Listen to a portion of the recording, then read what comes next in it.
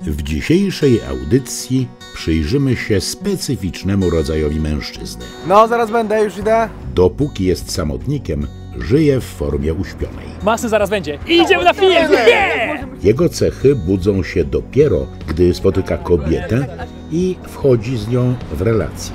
Cześć chłopaki, gotowi na te dinozaury? Pantofel jest znany ze swojej uległości i nadopiekuńczości. Na roboty, a nie na dinozaury. Po co ją zabrałeś? To miał być męski wieczór. Jak on do mnie mówi? Nic nie powiesz? Idziemy, idziemy! Jeżeli pojawia się konflikt, po prostu wychodzi.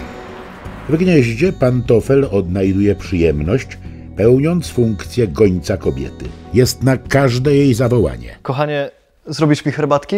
E, jasne. O, o nie taką, owocową proszę. Dobrze. Jeszcze cukier.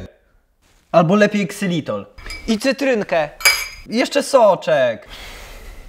Nie ten. No głuptasku, ile razy mam ci powtarzać? Pantofel niekiedy nadinterpretuje informacje otrzymywane od partnerki. Kochanie, to ja lecę do Tomka na urodziny, będę koło tam 23, 22.30. Okej, ja zostaję w domu, bo wiesz, chyba mam gorączkę.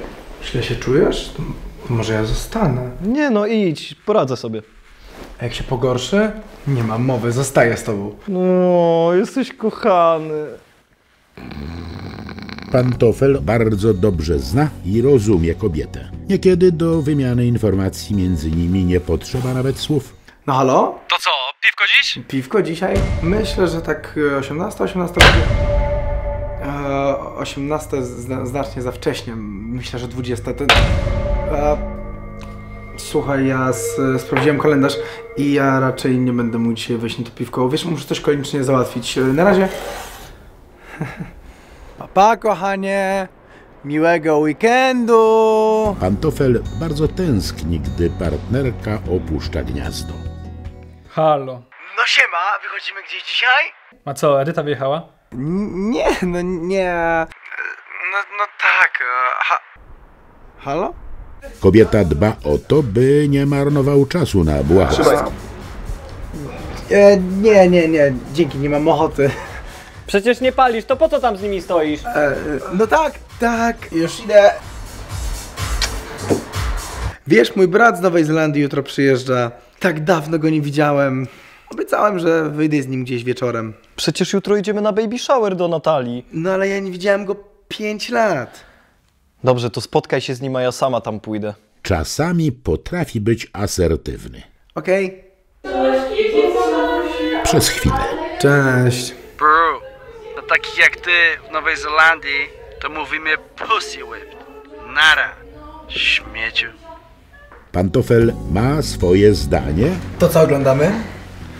Vicky Cristina Barcelona. Super! Tam gra Scarlett Johansson. ale się z nim nie zgadza, I co z tego? jeżeli nie pokrywa się ono ze zdaniem kobiety. Absolutnie nic. Uważasz, że jest ładna? Taka przeciętna, no nie, nie, nie jest ani jakoś bardzo ładna, ale... Nie oglądamy tego. Bardzo uważa, co mówi, żeby nie zranić uczuć partnerki. Kochanie, czy ja przytyłam? Nie no, gdzie?